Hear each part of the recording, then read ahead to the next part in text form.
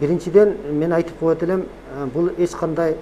алып аткан дары дармектин же болбосо жасалып аткан хлордон абадан жугуп ошо соляный кислотага айланып кетти деген бул химиялык формулага дагы туура келбейт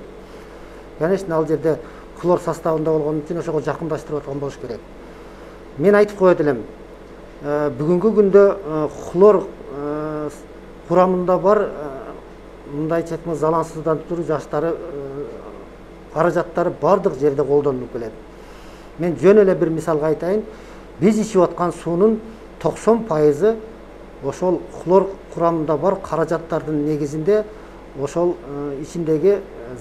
суунун ичиндеги микробтордон залалсыздандыруу шарттары жүргүзүлөт